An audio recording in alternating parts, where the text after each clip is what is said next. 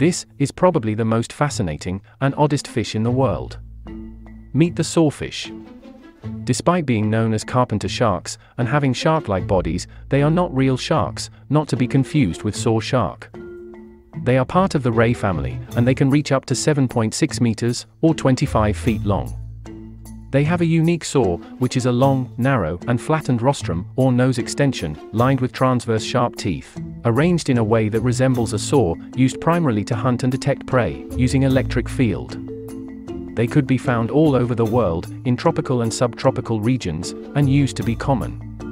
But unfortunately, they have experienced a drastic decline in recent decades, classified as critically endangered by the IUCN, due to being hunted for their fins and teeth, used for traditional medicine.